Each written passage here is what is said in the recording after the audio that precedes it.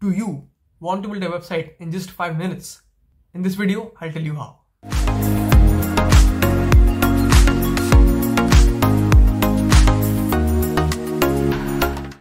Hey everyone, I'm Sanskar. If you're new to the channel, please press the like, share and subscribe button and also press the bell icon so that you don't miss out on any updates on this channel. I also bring out podcasts. If you want to know how to win hackathons, you can check out the i button here. And let's get into it. Okay, so first of all, we'll need to go to tailwindscss.com and click on get started. Scroll down and come to using Tailwind via CDN and copy this line of code. Right.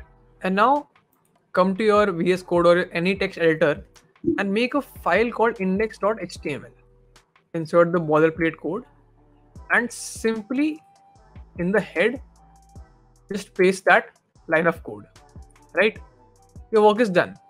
Now let's go to tailblocks.cc here you can find blocks of code which are readily available for you to use in your websites.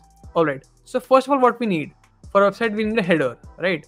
So we'll scroll down to header and here you can see different types of headers are there. All right. So for example i like this one. I'll view the code copy to clipboard and then I'll come back to VS Code and I'll paste all that code. Right? Now go back. Now come back to Tailblocks and you can use now what do we want? Okay, I like to add the gallery and then the footer, right? So let's see what they have in the gallery. Okay, this looks cool, right? I can view the code, copy all of it, and repeat the process, right? I can just copy paste it once again and then go back to Tailblocks. And now I just have to copy the footer right?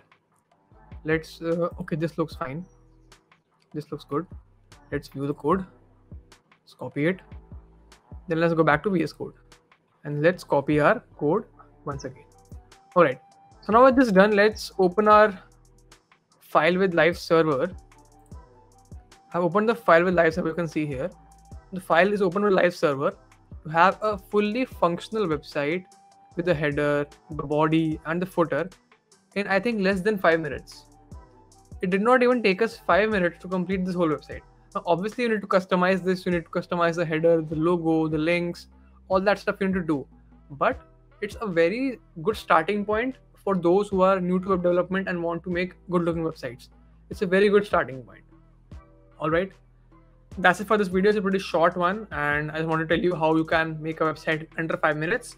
And also, if you like this video, please press the like button and subscribe to my channel if you want more such short hacks for a development journey.